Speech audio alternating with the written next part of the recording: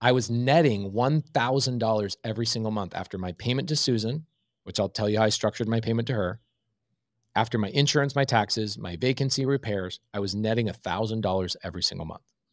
So imagine I go, I'll give you a down payment, but I won't give it to you when we close escrow. I'll give it to you six months later, and then I'll give you another portion of it six months after that.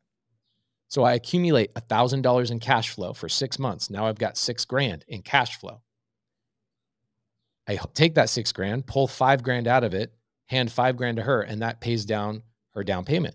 Then six months later, I pay another $5,000 out of the cash flow from the property. So I got her closing costs paid for by her, took over the tenant, so no renovation.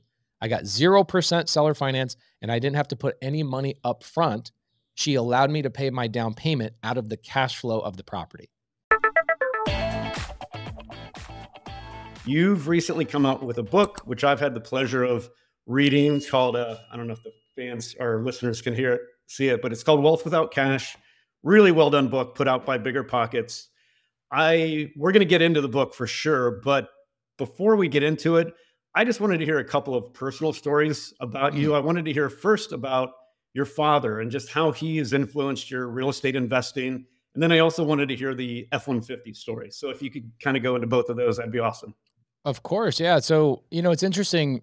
I think our job as parents and um, fathers, mothers, all that is to do a better job than our parents did with us, right? Take all the resources that our parents um, captured, went out and executed on, all the education they they got, all the experience they got, and gave all of that to us to hopefully raise us to another level. Our job is to go and take all of that and then go do the same thing for our kids or for future generations if we decide, you know, not to have children.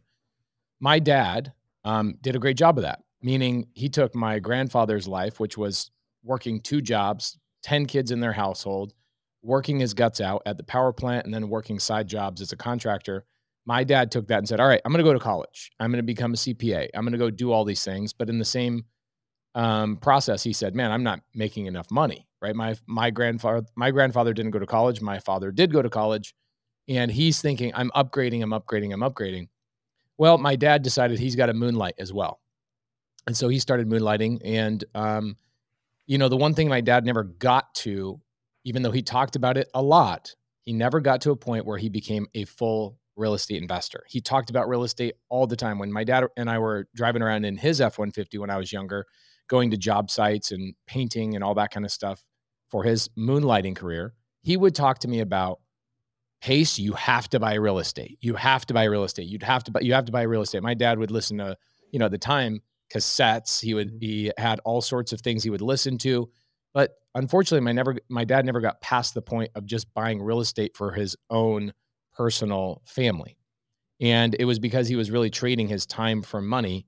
And so when I got into my 20s and I started realizing, oh my gosh, I'm doing the same thing my dad was doing, which was trading my time for money um, there was a day where I asked my dad, I said, Hey, what, what should I do to make more money?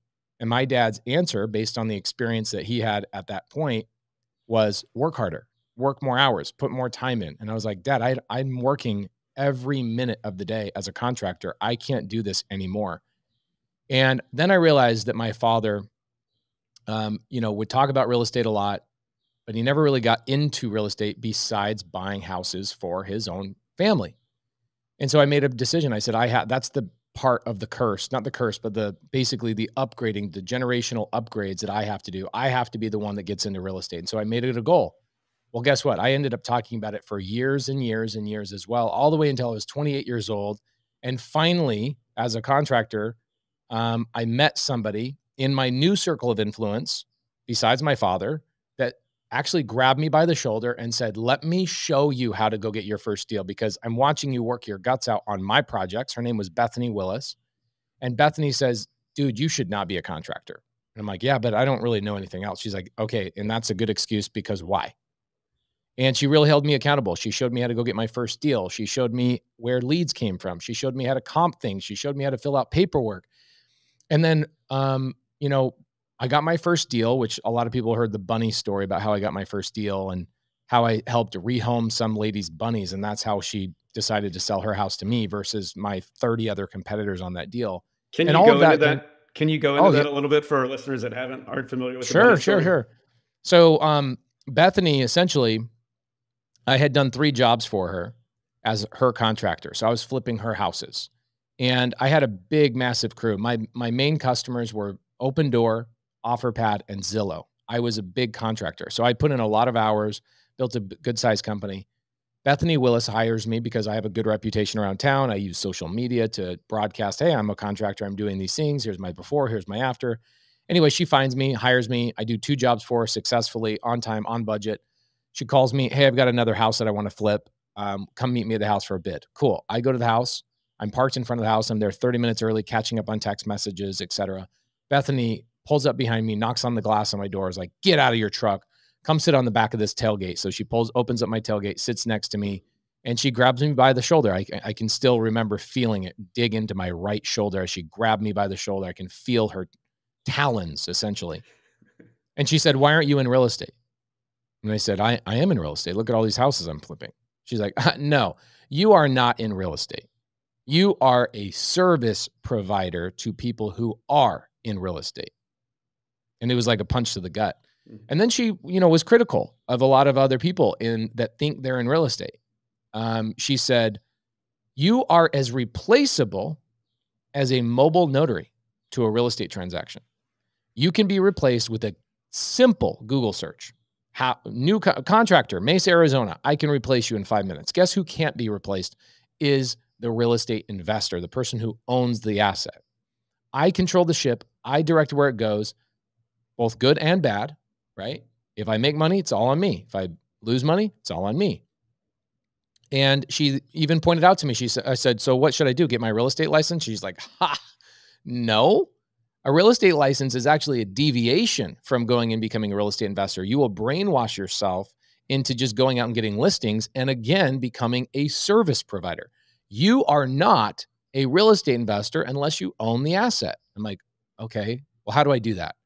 And she told me how to send out postcards. And I, this is a long story I won't go into. It's very nuanced, but I'll be very succinct here. She taught me how to send out postcards, which I don't do anymore. It's very expensive to do that. Mm-hmm. Um, but I sent out postcards. This is about nine years ago. And I got my first couple of leads, missed the first two phone calls from my inbound calls. People got my postcard sitting on their counter when they got home from work and they go, Oh, I, yeah, I do want to sell my house for cash. I'll call you. I missed the first two calls. And the reason I missed the first two calls is because I was literally installing somebody else's toilet in one of their flips. Mm-hmm. And what does that tell you? What does that tell you? When opportunity is smacking me in the face, I still couldn't even answer the phone call. And why was that? It's because I was putting my hands on somebody else's projects and I was serving them and their business and and uh, convincing myself that I was in real estate. I wasn't. I was a service provider. So I get home that night after missing the first two phone calls. My wife, she says, Hey, how's the, uh, have you gotten any calls yet? And I go, Yeah, I had two calls come in today, but I missed them because I was doing X, Y, and Z. And she's like, Oh, sweetheart. And she was really nice and sweet about it. She goes, But you need to call them. And I go, Yeah, I'll call them tomorrow. And she points out to me, Patrick, Pace, when we go out to dinner and you call a restaurant ahead of time and you say, What's the wait? If they say any more than 10 minutes, you are immediately saying, Thank you, we'll call somebody else. So, do you think these people that called you today are going to wait for you to call them tomorrow? Or do you think they've called the next postcard or the next letter? I'm like, That's a really freaking great point. So I go, All right, I'm going to call them. And I, I, I, go to call them, and boom, my phone starts ringing with another lead. Okay. And the, what, how do I know it, it was a lead? I knew it was a lead because I set my postcards up to forward a phone number to me, and I programmed that phone number in my phone as postcard lead. Okay. So every time somebody would call off my postcards, it would pop up on my phone saying postcard lead. I pick up the phone, I answer the phone, and it's a lady named Janie Munson, my first deal I ever got. So I'll spoil the, the plot for you. And uh, Janie Munson says, Hey, I, I'm a retiring school teacher. I need to sell my house. I'm going to retire from, you know, Arizona and I'm going to go live in Oregon where my family is and um, have more people around me that I know and, you know, blood relatives, et cetera. I need to sell my house. I go, okay. I didn't even know what to do. I didn't even know how to set the appointment. Like the, people look at me now and they go, oh, yeah, it must be nice. Dude, I knew nothing. I knew nothing. She, Bethany Willis, had to force me to send out postcards. I missed the first two phone calls. I didn't even know how to set the appointment. I literally put Janie Munson, the lady who just called me, on hold so I could call Bethany Willis and say, How do I set the appointment? That's how stupid I was. And I'm saying that to give everybody permission here that it's it's not just okay, it is a requirement for success for you to go and do things you don't know how to do in order to learn them. So Bethany tells me how to go set the appointment. I go up and I'm driving up to the house. I realize, you know, this is the next day now. I'm going up to the house to meet with Janie Munson. And I'm like, oh my gosh, I don't like, I don't know what to pay for this house. I don't know anything about comping. And so who do I call? I call Bethany Willis. Bethany Willis tells me, you got to buy the house for $150,000 or less in order to make money. Okay. So I get to the house. I'm talking to Janie Munson and I, you know, we kind of walk through the house to the kitchen. We kind of meander th- to the kitchen as you do. And there's a stack of postcards. There's a stack of um, letters. There's a stack of um, real estate agent business cards all in her counter, and she's got notes on them. And she, I'm like, wow, she's like really interested in selling her house. And um, I look at all this stuff, and the first thing that came to mind was a very important question that I ask every seller now, or my team now asks every seller. And the question was, Wow, Janie, what's kept you from selling the house so far? What are you looking for that you weren't able to get with all these other people? And Janie says, Well, I have an offer and I need to get a higher offer than what I currently have. And I go, What's that offer? She says, $165,000, which is $15,000 more than what Bethany Willis told me I could pay as my max offer. So I told Janie, I don't know if I can help you. I think you should probably sell to one of these other people. I think you should take 165. She says, You're not even going to give me an offer? I go, No. How, how can I? My offer is way lower than where you know you need to be and you're a retiring school teacher this is your last asset you deserve to sell this for as much as you possibly can. I can't be that person. Um, i'm way way too low to even give you an offer. She thought it was a sales strategy. She thought i was sitting there trying to manipulate her anchor her. And so she says okay well i guess what what do we do? I go i i guess i leave. That's all i that's all i knew to do. So i'm leaving the house and um, i'm in the front front door threshold and I turn to her and I go, Hey, is there anything I can do to help you, you know, on your move, anything that you need? You know, you're a single woman, um, you're raising your granddaughter and, you know, your daughter's living in your house. You probably need some physical help, maybe in your move. I could load your truck. I could do whatever you need. Like I could, my guys could come over and help box things up. Remember, I'm a contractor. I got a lot of employees. She's like, I'm so confused. Like, you want to help me, but you don't want to even give me an offer. Like, who are you? Right. And she says, she says to me, What are you, a Boy Scout? like saying it, you know, facetiously. And I said, Yeah, actually, I am. I'm an Eagle Scout. My parents wouldn't let me get my driver's license till I was an Eagle Scout. So, yeah, I'm an Eagle Scout. She's like, Whoa, you really want to help me? I go, Yeah, I really want to help you. I, I can't buy your house. Love to help you. What do you need? She goes, Well, I have this really big problem. And it's one of the reasons why I haven't sold the house yet is, is, because I haven't figured out what to do with this problem. I go, okay. Now she's got me super intrigued. Like, what's this big problem? And she says, Are you are you ready for weird? I go, Yeah, I'm I'm down for it. Like I'm here for it. What what do you got? So she says, Let's go to my backyard. I'm like, all right. So we walk through her house, we go to the backyard. She opens up the sliding glass door, and I walk into her backyard and I see three Flemish bunnies. Okay. Flemish bunny, if you look it up, Flemish bunnies get to be the size of a four year old child. They are massive, like 65 pounds, humongous bunnies. Like it looks like a toddler in a bunny suit. That's how big these are. And she says, I need to rehome these bunnies. My granddaughter brought them home one day, you know, six years ago. And we thought they were going to be cute little bunnies. And now they've turned into like human sized bunnies. And I can't take these to Oregon. I can't afford to feed them. I need to get this off my books essentially because they're costing me a lot of money but they've become like family and I need to find somebody that I can trust to take these bunnies. I'm like, how weird has this been? Like, I get a call off a postcard. Now I'm all of a sudden in somebody's backyard trying to rehome their bunnies. And if I could, if I could have told myself that that actually is like 99% of this entire real estate business, I would have jumped in this business way faster. Because that is like every time I'm talking to a seller off market or getting a deep discount or buying their house with creative finance, it's because I'm helping them do something along these lines. So Janie says, I need to rehome these bunnies. Do you know anybody? I go, Yeah, I know somebody. So I literally open up my phone, I call my mom, and I go, Mom, you know, I'm 30 years old at this point. So my I call my mom and I go, "Hey mom, I've got Janie Munson on speakerphone. Here's her situation. Can you help me?" My mom shows up to the house 45 minutes later in a truck I've never seen before. I had no idea, still to this day don't know where that truck came from. Pulls up in a red truck. Takes the bunnies, gives me a hug, tells Janie thank you, and then she takes off. And Janie's like, "Wow.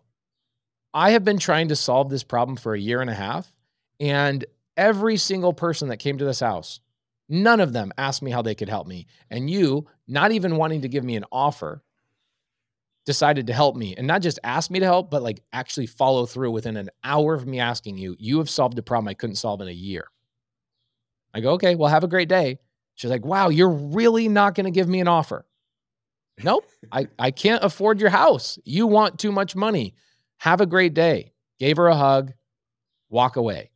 Two weeks later, I get a call Janie Munson. Pace, today's the day I have to make a decision. I put it on my calendar. I have to make a decision on who I'm selling my house to. And I have come to the conclusion you are the only person I want to sell my house to. And I'm like, wow, I'm so honored. I'm so blown away. But Janie, I can't afford to pay over $165,000. You should take the other offer. She goes, I don't care what your offer is, Pace. I trust you as a human being and you provided more value to me in um, all of these months of me researching all of these people 15 people came to my house before you and 15 people came to my house after you and you were the only person that asked me how you could help me you were the only person that didn't look at my house and criticize my single pane windows my poor my my roof that was falling apart my hot water heater my air conditioning unit is super old and barely hanging on by a thread and all you did was show me love and um, thanked me for being a teacher because you loved your teachers. Nobody, not one person. They showed up in were their fancy cars. They showed up with their name tags on their shirt. They showed up in their collared shirts and their business cards. You were the only person that showed up as a human being. And she says, I don't care what your offer is. Get the paperwork, come up to my house. Let's get the deal done.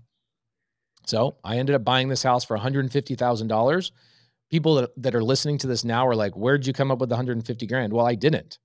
I got a contract for 150,000 and I sold that contract to Bethany Willis for 175,000. Bethany Willis bought the house for me for 175,000. So I wholesaled my first deal and I made 25 grand for probably 3 hours worth of work. And in my conversations with Bethany, she was congratulating me and I said, "Man, I had no idea like how fun this business is. I get, get to just help people all the time. And she says, Pace, you learned the most valuable lesson in real estate in, on your first deal, and you should consider yourself lucky. I go, what, what's the lesson? She says, two things. Same thing, but two different. She's like, I want to say it two different ways. Number one, when you buy a house and you're trying to be an investor, it's never about the house. I'm like, wow, that's interesting. She's like, you didn't even know what to look at. You didn't know what to how to comp it. All you did was dig into the lady's problem and help her solve and give her the the service. It wasn't about the house. It was about her as the individual. And if the fact that it took you one deal to find that out it took me 10 years to find that out. And once i found that out my conversion rate tripled quadrupled etc and the second way to say this pace is that you found her bunnies and i was like wow she said think about this Everybody else was just in the house, criticizing the house, criticizing the house, criticizing the house. Yet you took the extra step to get behind the scene, get into her psyche, and ask her to get into her backyard where her real problems were. Nobody was invited into the backyard. Nobody was invited to understand the real problems. You understand you understand this now that if you find the bunnies of every seller, you will win. And I was blown away. And um, here's what happened. I was sending out postcards generating generating a lot of leads and um, opening escrow on a lot of cash deals. I was doing a good job.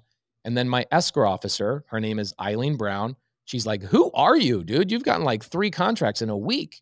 And i was like yeah because i'm i know how to find the bunnies. She's like excuse me and i tell her the story and she's like okay so how many leads are you do you got for every contract? I go well that's kind of the problem. I'm generating a lot of leads right now but I can't help everybody. I, I can't find their bunnies, or basically their bunnies are locked up.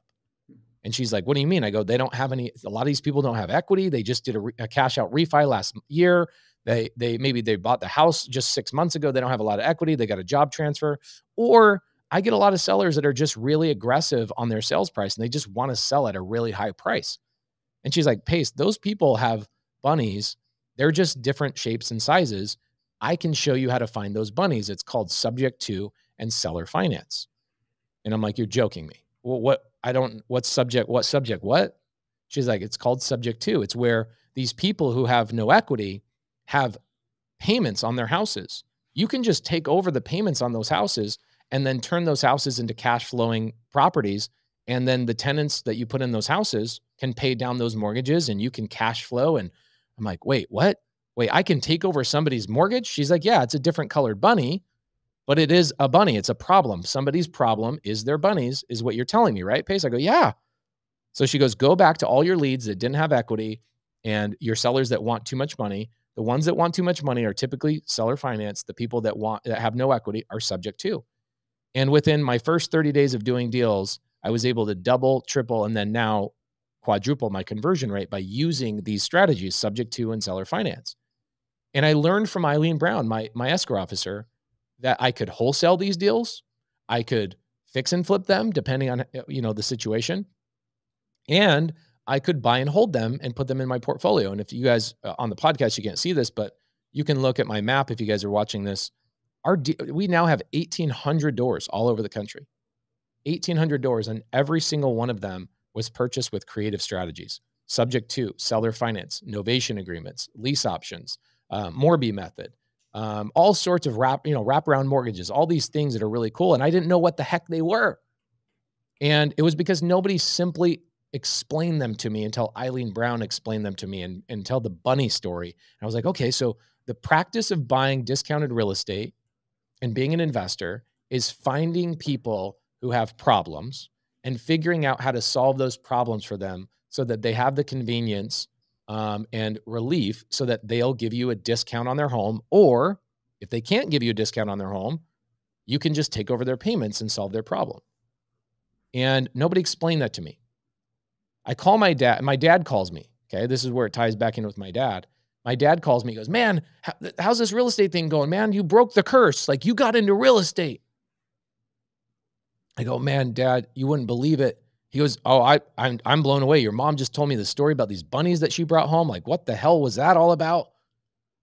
And I go, Oh, that wasn't even the cool part, dad. And I start telling him about subject to and seller finance and lease options and all these cool things that I'm doing. And he says, I go, have you ever heard of subject to and seller finance? And my dad says, yeah. How do you think we lived in every single home you grew up in since the day you were born until you were 20 when you moved out? And I'm like, what are you, what are you talking about? And he says, well, you know, we have 12 kids, Pace. I worked as a CPA in the daytime, making $60,000 a year. And then I had to moonlight and bring in cash under the table as a contractor. No bank would give me a loan. So I had to go out and work with sellers to give me, you know, rent to own and then i learned about just taking over mortgage payments under on subject to then i started figuring out seller finance and i said dad why did you never why didn't you like start branching into real estate investing yourself and he says because i was too in, i was too busy installing other people's toilets at their houses. I was too busy trading my time for money. Mm-hmm. and so I, luck, i'm lucky. I'm grateful for my parents. I'm grateful for my dad amplifying me to a point where I could break the family curse and actually get into real estate and be the one that changes the trajectory of all of our uh, future generations' lives is having true wealth and having houses make money for us rather than we make money by touching houses, which is what I did as a contractor. So the F 150 story ties in where um, I got so good at this I got so good at creative finance and explaining things to sellers because I would use stories that made made sense to sellers, just like I just did with the bunny story. Right? I I get so many people call me and they go, "Hey Pace, I got a deal." I go, "Great, tell me about it." And I go and they they go they're telling me about it and I said, "So what what are the bunnies? Why would the seller sell to you at a discount? Why would the seller give you a good deal? Why would the seller let you take over payments? Why would the seller seller finance you? What are the bunnies?" And these people that think they understand how to get into real estate investing are just looking at random houses on the MLS. Guys, people that are selling on the MLS typically don't have bunnies. They, bunnies are the motivation. Bunnies are the reason why they need to sell to you at a discount quickly, or bunnies are the reason they, they got to let you take over their payments. you got to find the bunnies and you got to start where um, the bunnies exist, which would be foreclosure, probate, expired listings, um, people that have long days on market with real estate agents on the MLS. I would never call a deal on the MLS or try and buy a deal on the MLS unless it's been on the MLS for over 90 days. Because now I know that they're going through some pain. They're, they haven't gotten offers. They're having a challenge. That's so easy to see that they have bunnies that I can help rehome. Well, I got so good at this. I got so good at this that I started having wholesalers and real estate agents in town call me and say, I have a lead and we don't know what to do with it because the seller wants too much money. And I would just go on these appointments. And I basically, we, everybody in town started calling it the PACE method, which was taking people's dead leads, at least what they called dead leads. And I would go and make money on these dead leads. And I got to a point where I actually liked the dead leads way more than I liked the leads that were willing to sell to me at a discount. I wanted the ones that were impossible because that's where I was making the most money. And I had this seller, I had this, it was a wholesaler. His name is Tim. Tim calls me up one day and he goes, Pace, I've got this seller. And the seller is, she wants a hundred and ten thousand dollars for this property that me as a wholesaler, I got to offer like 40, 50 grand on this in order to me to assign it to a fix and flipper in order for them to have enough meat on the bone to go and sell it for 110 it's worth 110 renovated but this lady wants 110 right now. I go okay great. I love that. That's a great lead for me. He's like how is that a great lead? I go because i know how to solve the problem. I know how to identify her bunnies and i know how to liberate and rehome those bunnies and solve her problem and so I go to this appointment. Su- seller's name is Susan and Dale. And this is the first time I used the F 150 story to get a seller to understand what terms were.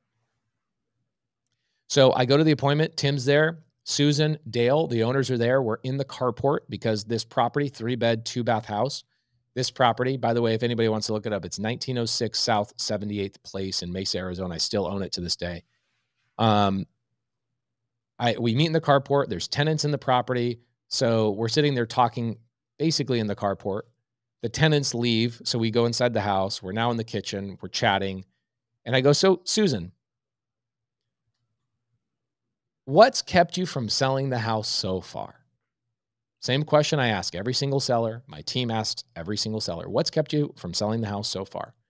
She says, Well, because everybody's lowballing me. Well, yeah, it's typical. I go, um, I think that's why I was brought here and introduced to you, um, let me let me guess. You're probably getting offers somewhere around forty, maybe fifty thousand dollars, and um, you're wondering why all these investors are lowballing you. She's like, "Yeah, that's like exactly the offers I'm getting. How do you know?" I go because if I was going to give you a cash offer, I would give you the same cash offer, and I would then be duking it out with these other investors. So they're not investors; they're wholesalers and I would be duking it out with other people, trying to compete with them and trying to, you know, throw them under the bus and say, these aren't good people to sell to. I'm a better investor to sell to because I'm honest and I'm trustworthy and I can close faster. It's like, Susan, those advantages, like everybody has those advantages. The reason I'm here is because I'm a superhuman. I can solve your problem at a level that other people can't. She's like, So you're telling me you're not going to give me a cash offer? I go, Nope, I'm not going to give you a cash offer because if I was, you would also say, I'm going to lowball you. So I'm not going to give you a cash offer. She's like, okay, well, then how are you going to buy my house? I go, well, Susan, if I was willing to come up to $110,000, which is astronomical compared to what everybody else is offering you, would you be willing to give me terms? Susan has no idea what terms are. Most people don't know what terms are. And so I came up with really great, easy stories to tell people to kind of help them understand what terms meant. So I always lead with that. I say, well, would you be willing to give me terms? Knowing that the seller will not know what that means and it will cause them to pause and go, uh, terms? Which then tease me up to tell me, tell my F 150 story, which I've told a thousand times. My students have told this a thousand times. People take it from my YouTube videos, and everybody has permission to take this story and go use this story to explain things to a seller. So this is what this is the F 150 story. I go, all right, Susan, let me tell you what terms are. I'm a contractor by trade. That's what I did for a very long time. I had an F 150, world's most popular truck. And this truck hit 320,000 miles and it was a truck we were using that four guys would sit in the truck. They'd go from job to job to job. They'd paint houses. And this truck was a catalyst and a tool to make money for my company. And it got to a point where I was having engine failure and overheating and all sorts of things. And it was actually causing me more headaches than it was giving me benefits. Probably similar to the house that we're talking about right now. Your tenants are giving you a hard time. They're not paying on time. You're constantly dealing with them. And this is where some of her bunnies start coming out. Okay. She has family members renting the house from her, taking advantage of her, and then complaining to the rest of her family about how she's always demanding her rent on time and that she doesn't understand the hardships that they're going through and what kind of Christian is she because she is demanding to be paid every single month. These are bunnies. Okay. These are the bunnies that Susan had. So I obviously extracted all of that in the upfront conversations. I already knew that before I went into the F 150 story. So I said, so just kind of similar to what's going on with your house, you've got more problems than the benefits um, and you're looking to offload the property, but you don't want to just get rid of the property. You want to get as much as you possibly can. Well, guess what? I'm no different than you. I decided that I was going to sell this F 150. So I go to Kelley Blue Book, KBB.com, which is the Zillow for cars, basically. Okay. And she says, Oh, okay, cool. Yeah. All right. Well, yeah, great. Yeah, that's kind of like the Zillow for cars. So I'm starting to tie these two parallels together. And I said, I look at the Kelley Blue Book, I see the truck's worth five grand. And I said, Oh, hell no. I'm not selling this truck for five grand. It makes me way more money than that. I'm going to go put this on Craigslist to see if there's any silly idiot that's going to pay 10 grand for it. So I put this truck on Craigslist for 10 grand. And I said, I'm just as belligerent as you, Susan. You want $110,000 for a house that everybody else is offering $40,000, $50,000. You want what you want. Well, guess what? I wanted what I wanted to. But unfortunately, I didn't get any emails. I didn't get any phone calls. I didn't get anybody to even criticize me about my high offer. So three months goes by and I didn't sell the truck. Nobody even messaged me one time.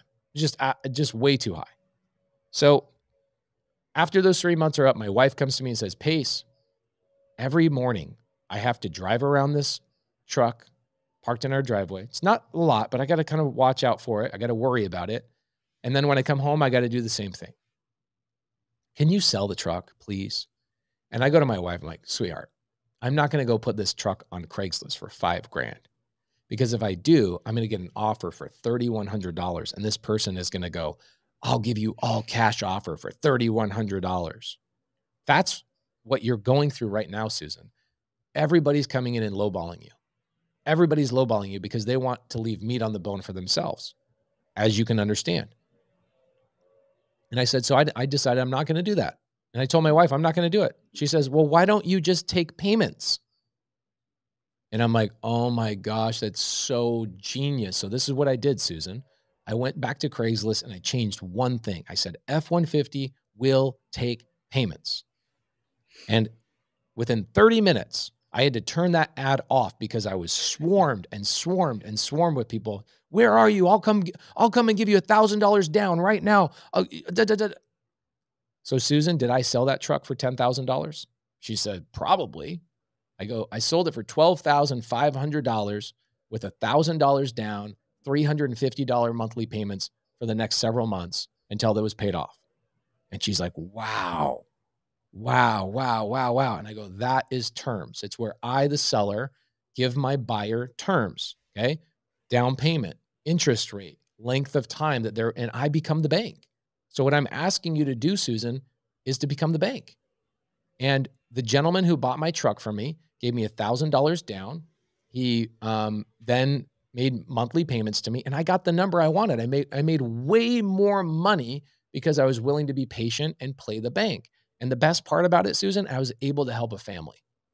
Hey everyone, it's Clay Fink here. Are you looking for an investment opportunity in a $2 trillion market? Look no further than Atakama, the cybersecurity industry's latest game changer. Atakama has opened its doors to US accredited and international investors alike, already attracting over 5,000 investors and $6.5 million in capital. Atakama's recurring revenue model saw 10x revenue expansion in 2022 alone. They have patented technology and large contracts secured, including one with the US Department of Defense. This is a limited time opportunity to get in on the ground floor of a rapidly growing cybersecurity startup. To learn more, simply visit invest.atakama.com slash WSB. That is invest.atakama, A-T-A-K-A-M-A dot com slash WSB. Full disclosure, I have personally invested in Atakama's equity crowdfunding round at a $29 million valuation. Please keep in mind that investments in early stage companies do contain risk. As with any investment, crowdfunding investments do offer attractive potential upside, but they cannot offer any guarantees of a future return. And I was able to help this gentleman who bought my truck. Guess what he did? He was an auto mechanic starting a paint company. He fixed up all the truck issues. He did that himself. And he went and put that truck into operation and he made a lot more money on that truck. So some people might look at him and go, man, you overpaid for that truck, Jose. No, he did not. Because the value of something is never the purchase price. The value of something is always what you can do with it and what money you can generate from it. So, Susan, if you're willing to give me terms that can allow me to go make money on this, I would be willing to come up to your $110,000. She's like, done. What do we got to do? I go, well, you tell me you're the bank. You're the bank of Susan. I'm coming in applying to you. How do I get a loan? How can you seller finance this house to me? She says, I want $20,000 down and 8% interest. I'm like, okay, that is, that's a problem. Okay. Everything's a teeter totter. Okay. You want a high purchase price on one side so that your one side of the teeter totter is really high. Well, then if you want a high purchase price, then the other side of the teeter totter needs to be really, really low. And that would be a low or no down payment or a low or no interest rate. So what do you want? Do you want a high purchase price or do you want a high per, um, down payment? She says, I want a high purchase price. I go, then let's do a no down payment and no interest because you want to sell the house for a, a really high price of 110 grand. She says, I can't do that. I'll give you no interest, but I will, I need a down payment. I go, okay, cool. Why don't we do this? You pay closing costs. Okay, so she paid closing costs on this house. I'll take over your tenants so you don't have to evict your family. Right. I, I already knew what I was doing. I knew the problem with her tenants was actually that it was a family member renting from a family member. And the second I took over the property, all of those problems would go away. All of them would go away. Guess what? Those people are still renting the property. They're on time every single month. And it's because they were taking advantage of a family member. That's all it came down to. So, me being in that situation was actually better. So, I never had to renovate this property, which was cool. And um, so uh, she says, I want, okay, I want $10,000 down. I go, no problem. I'll give you $10,000 down, but here's how I want to do it. Every six months, I will give you five grand above the payments. She goes, okay. So what I did is here, here's kind of how it works. The tenant was paying $1,650 a month. Now they're about $2,000 a month, but they're, they were at $1,650 a month. And the way I structured this deal, which I'll get into in a second, I was netting $1,000 every single month after my payment to Susan, which I'll tell you how I structured my payment to her. After my insurance, my taxes, my vacancy repairs, I was netting $1,000 every single month. So imagine I go, I'll give you a down payment, but I won't give it to you when we close escrow. I'll give it to you six months later, and then I'll give you another portion of it six months after that. So I accumulate $1,000 in cash flow for six months. Now I've got six grand in cash flow.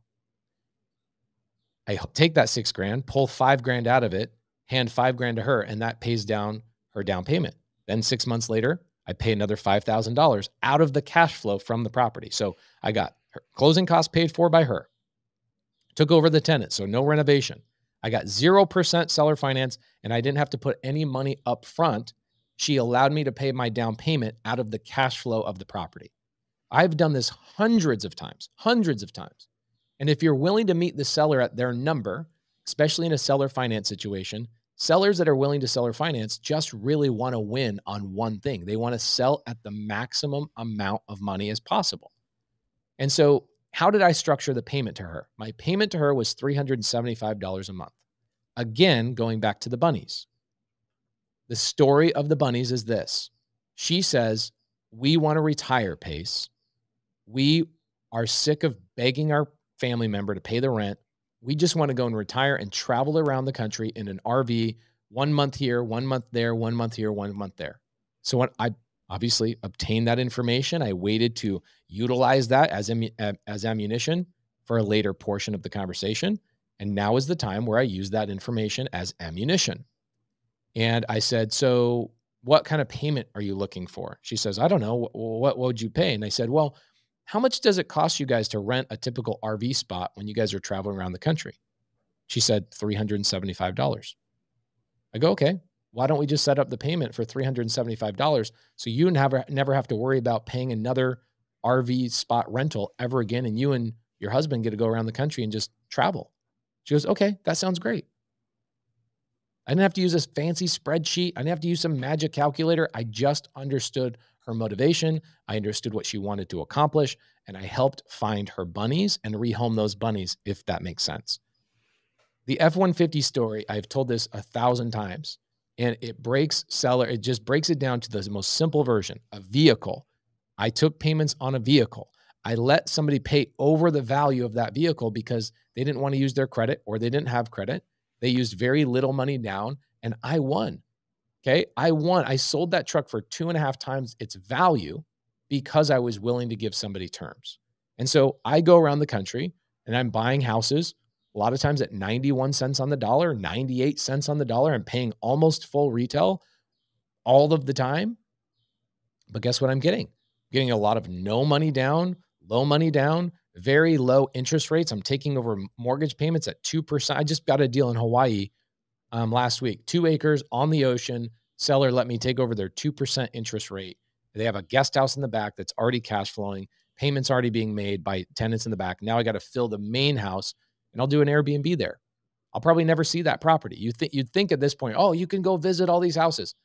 No, I don't have time for that. We have so many deals that we're buying all over the country. And so creative finance changed my life. I, I, I didn't have the money to buy these assets. I, I have not had my credit pulled. I have not talked to a lender. I'll give you, I'll give you a really good example of this. I decided I want to buy a house in Montana on a lake, Kalispell, Whitefish area up in Montana. So one of my students, newer students, calls me up and he goes, Hey, I'm a real estate agent up here. I'll help you. Find, I keep hearing you say you want to have a, a house that you can fish on. You want water, you know, flowing through it, or you want to be on a lake. I can help you. I go, yeah, but I'm not going to buy anything that's cash. So you got to go find me creative. He goes, oh, there's no creative finance deals up here. It's too ritzy. It's too nice. I go, okay. There are literally hundreds of deals everywhere. And so after a couple of Zooms with him and coaching him along and showing him how to go find them, he, here's what he said. He goes, I will go find these, but I want you to also do me a favor and go get pre-qualified for a loan. Okay, cool. So I call his mortgage officer up there in Kalispell. That was about six weeks ago. I have still not got pre approved because I'm a business owner. I claim nothing on my taxes, right? So she's having a hell of a time getting me pre approved, even though we make our companies generate millions of dollars. He goes in in three days, finds me 12 properties on seller finance. And he's just like, I'm blown away. I'm blown away that there's that that many deals out here for seller finance or taking over mortgages I just wasn't paying attention. I go, no, you just, it's not that you weren't paying attention, it's that you didn't have the information in your head for your head to pay attention for you. It's, it's called the frequency effect, or I call it the, the Tacoma effect.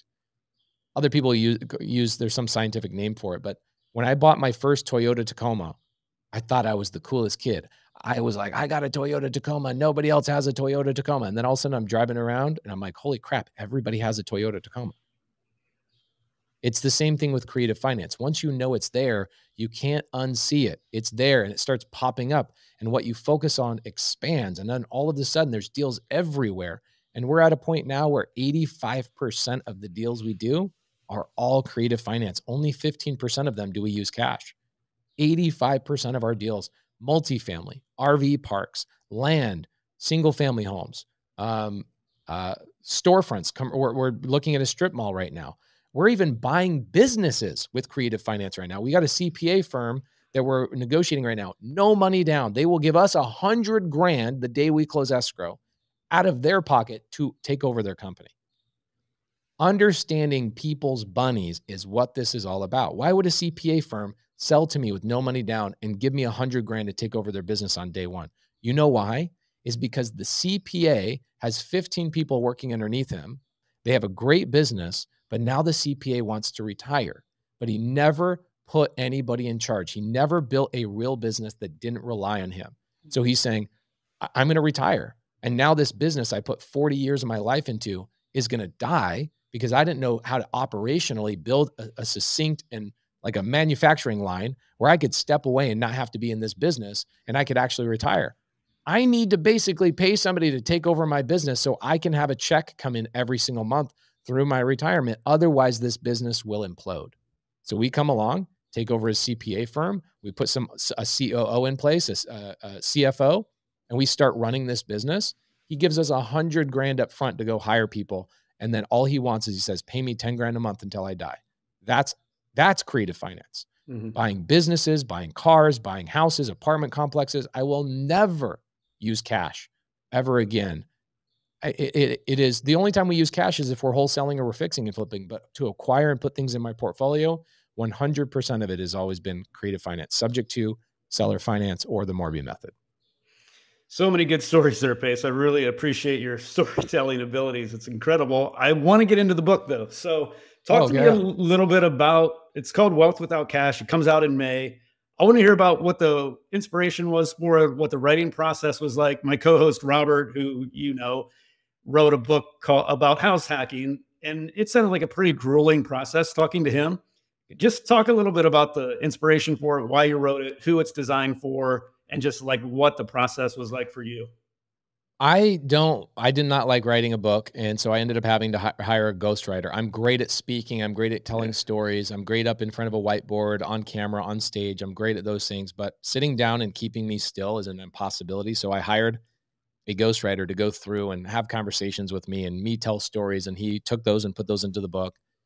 And I even, you know, I just feel like a book just can't do 100% justice of what I want to talk about. So, what I did also, and I love video so much, I created a video companion guide that comes with the book.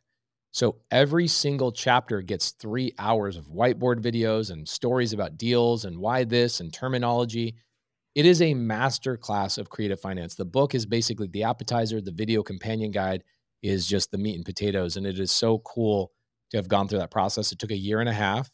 Um, I still have two more videos that we're still putting together. Mad Dash for the release on May 2nd.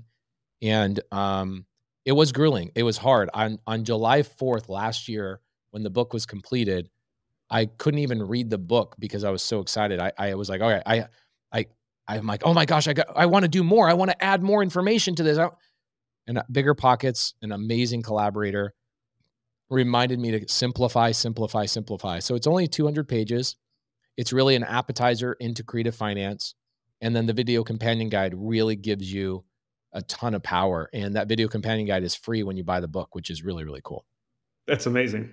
I did not know that you did the video companion guide too. So I will yeah. put links in the show notes for that. So, um, talk to us about who the book's designed for. Is it for the beginning investor, for someone a little more advanced? What would you say about that? It's definitely not for the advanced. Um, I'd say that there's a lot of things in the video companion guide that are way, way, way, way advanced. But the book itself is just an appetizer. It's just there to let you know what these terms are, that these things exist, and then for you to dig a little bit deeper. Um, otherwise, this book, I mean, creative finance is so much more diverse than BRRRR. It's so much diverse than much more diverse than cash deals. Um, to put it into perspective, um, I look at like let's say as a contractor, I'd pull up to a job site and have a truck full of tools and a trailer full of tools and everything you can imagine, jackhammers to you know drills and saws and everything you can imagine. A cash offer to me is a hammer. It's all it is is a hammer. Creative finance is all of the other tools. It is so diverse. It is so deep and so um, wide that you can go to an appointment and use such a variety of tools that a 200 page book is never going to be able to tell you all of that. So the book is really for beginners to let them know that it exists and that these things are there. And then for them to go out and start doing the research and go onto some of the Bigger Pockets forums and um, go on to the Bigger Pockets YouTube channel and listen to some of these videos that I've done um, and give way more in depth stories. The video companion guide is then basically 30 hours of just unbelievable. Like, I'll give you a good example. When I did the video companion guide, I was like, I want a live audience. So I have a studio. I brought in 15 people into the live audience. And the day that I press record on the first video for the video companion guide, I get a text message from one of my sellers. Homeowner lives in lives in Boston, has a house in Boston. And he says, Pace, um, we've been negotiating for the last couple of weeks. I'm in Phoenix for a convention. I think your offices are here in Phoenix. Any chance we could meet up and finalize the deal today? I go, yeah, but I'm recording in my studio with an audience. Do you mind just stopping by here? And he goes, no problem. So, literally, the first video you will watch is a seller walking into my studio and going, All right, how are we going to do this deal? And for an hour and a half, I broke down subject to for him and I gave him an offer, shook hands. I bought his house right there on live camera, only to be seen in the video companion guide. So, an hour and a half appointment face to face with the seller, talking real live. Here's the address, here's the numbers, here's why I would buy it. It, it, it that one video alone is a masterpiece the book could never do that. And so mm-hmm. the book is an appetizer that hopefully leads you into the main course meal, which is the video companion guide. That's really awesome. I'm eager to look into all of that. I wanted to talk a little bit about your why. Early in the book, you talk about the seven layers of why. Can you yeah. explain to us that idea? And then I also wanted to hear what your Pace Morby's why is. Yeah, it's interesting. You know, somebody took me through this practice. Actually, it was Dean Graziosi when I became friends with Dean. And Dean says, um, what um what do you want to do and i i tell him i want to do i want to become a billionaire and he goes why i go well because i can provide for my family and i then i i pause and i was like so i can provide for my family he goes okay but why and oh my gosh what a practice of depth of like really getting into this and then you really realize like wow okay um i actually don't know my why so when you go through the seven layers of why, it really forces you to get deep and deep and deep, and you have to stop. If you haven't not gotten to your seventh layer, then you truly don't understand your why. Okay. Now for me, my why is I was put I was put on this earth by a creator, whether it's God or the universe or whatever. I was put on this earth to help my my um, other mankind, and I would be wasting my life if I was not obtaining resources and experiences and then turning around and giving those back. My why is that this is my purpose. I was put on this earth as an instrument, as a tool, as whatever to help other people go and find their why, find their purpose, and find financial freedom. And so, uh, the reason I do all the things I do is because I'm supposed to. I'm required to. It's my responsibility. It is my duty, and I am li- I'm trying to live up to my my Creator's requirements of me. I love it. I love it. I um I wanted to get into a little bit more of just there's so much to creative financing, but and you've kind of touched on uh, you know some of this as as you've have you've told some of your stories, but for our listeners that have no idea about subject to and seller financing, just at a high level, what are the differences between those two? The two differences between a um, subject to and seller finance means um, subject to means there's an existing debt on the um, asset. So the asset is a house, could be a car, could be a business, right? So let's let's take a business for example. If I go to buy a business and I'm talking to a, a company and they go, buy us for $2 million. And I go, great. What do, what do your books look like? And they go, well, we have an SBA loan for $2 million. Okay. I go, great. So I'll just, how about I just take over your SBA loan and I just make payments on the SBA loan and you walk away? That's called subject to. I literally took over payments on their debts and I took over the, the asset by transferring the ownership into my name. That's subject to. Same thing with a car. I buy cars subject to. I go to a car owner and I go, looks like you're having a hard time selling that on Craigslist. It's been on Craigslist for 100 days. Would you let me just take over your payments? And I can just take over car payments. Same thing with a house. Hey, looks like your house has been on the market for 120 days. Can I just take over your payments? Subject to is taking over an existing debt that is already there. And the benefit of that is that you're getting you don't have uh, to go through an application. No, you don't have to talk to a bank. Nobody check, cares about your credit. Nobody cares about your job history. Nobody cares about your tax returns. None of that. Thousands of deals we've done. Nobody's ever asked for any of those things. That's subject to. Seller finance means, let's say I go to somebody who has a car in Craigslist and I call them up and I go, can I take over payments? They go, oh, I don't, I don't have any payments. I, I own this free and clear. I go, okay, well then seller finance it to me. Okay. Seller finance means that the thing that I'm buying is paid off and the seller is going to finance me. This is why we call it seller financing. The seller is financing me and they are becoming the bank. So I have to then work out an agreement with that seller, like I did with Susan. I go, okay, what down payment do you want? Okay. And the four parts to that are purchase price, down payment, interest rate, and length of time they're willing to take payments.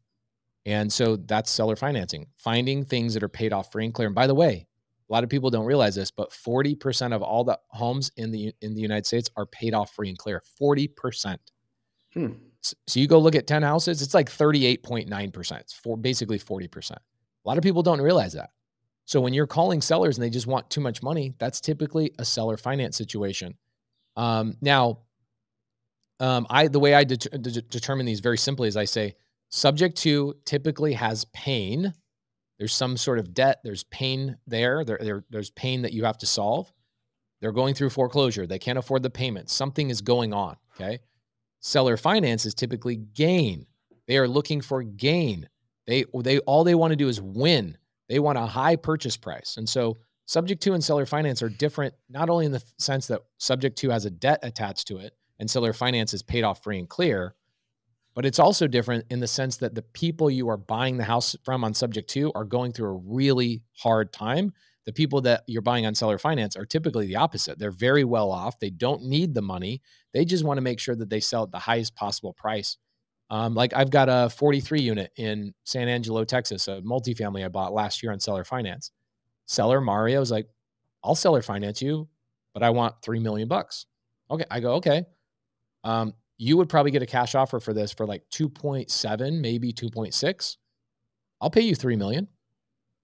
And the seller Barno's like, really? You'll pay me 3 million? I go, yeah, but on terms, I'll give you no down payment, 3% interest, and I want 50 year, a 50 year term. Mario says, okay, great.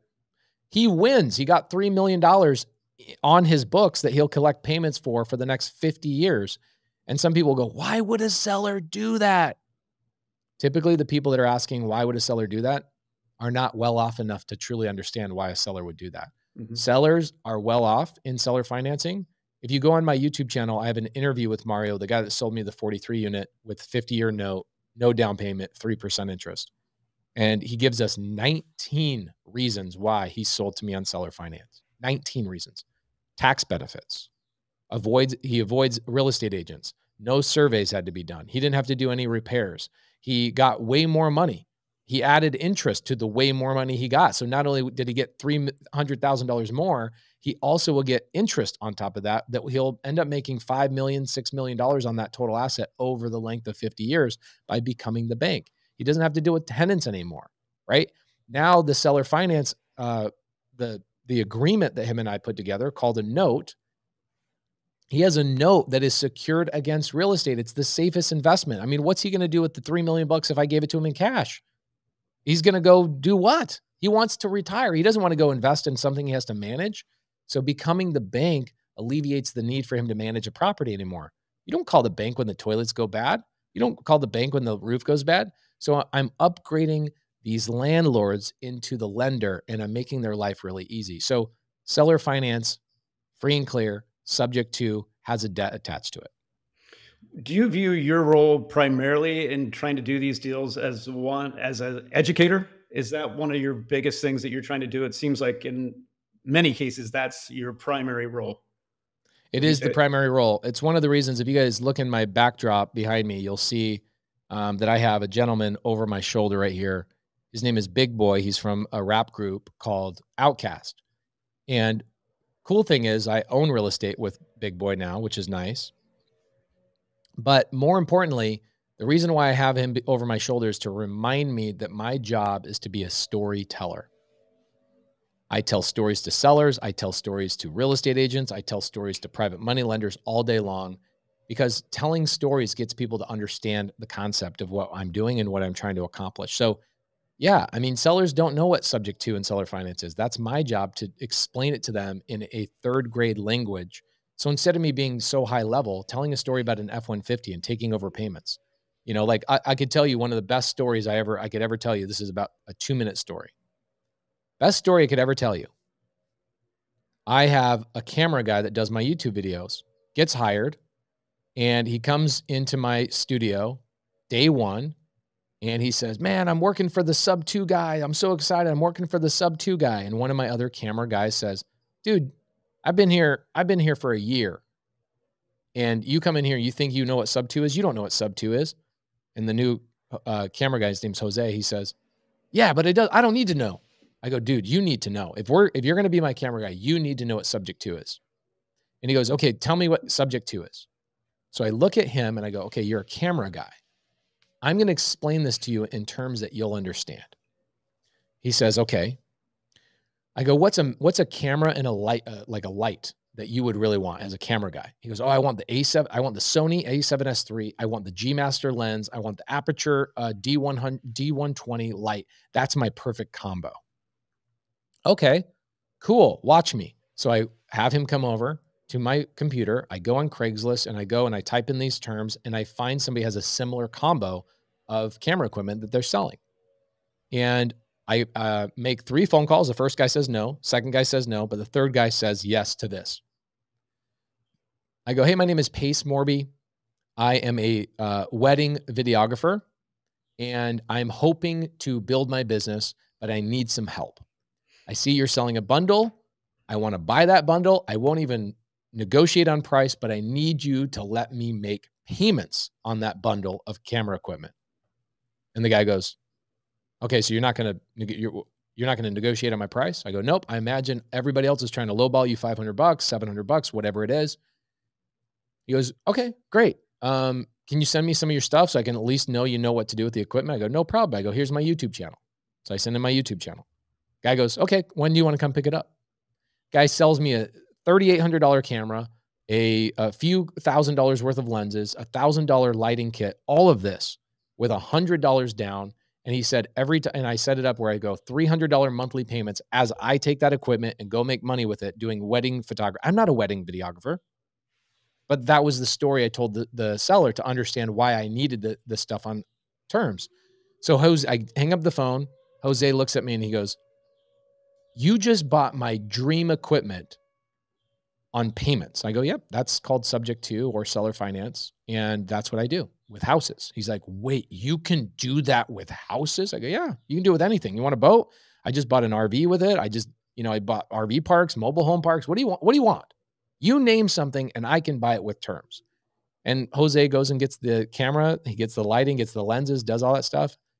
And um, he goes and shoots, you know, side projects and he makes that $300 monthly payment to that guy that now is no longer the seller. He's now the bank. And Jose makes a $300 monthly payment to him. And if I tried to explain that to Jose in housing terms, it would have taken an hour. But because I explained it to him in camera terms, he immediately got it. And so my job when I'm talking to sellers or agents is to build rapport, get information about who they are.